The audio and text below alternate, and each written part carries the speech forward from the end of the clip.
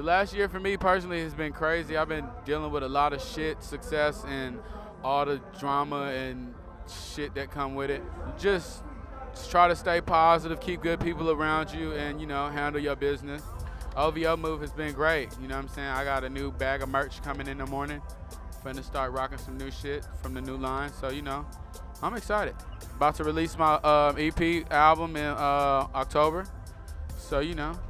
Album in October? Yeah, this October, 2015. It's just me, and uh, I got production from like Sonny Digital and a few others, but it's a lot more of my music. I've been playing the keyboards on there and stuff, and just you know, making the soundtrack for the times right now. Oh, I just go out and do shit like this, like come to festivals and then go freestyle on the tracks to like my memory of the next day, and you know, make a hook about it or something, and then you know, I just, I just, I just I just like creating, so I just go in the studio and just get get creative. Yeah, most of it's freestyle. I mean, I, I, I don't physically write it, but you know, I, I get a hook and I learn it over and over, and then you know, learn my verses as I'm riding them, or you know, like rapping them. Sometimes it's a one take song, and that's that's good. Other times, you know, you got to keep working it, but it's good. Oh, these young producers like uh, Danny Wolf and Richie Souf. Um, I'm working with Siege from 2-9, Retro Sushi. He got some beats for me. Trying to make some music with some of the new artists out, you know what I'm saying?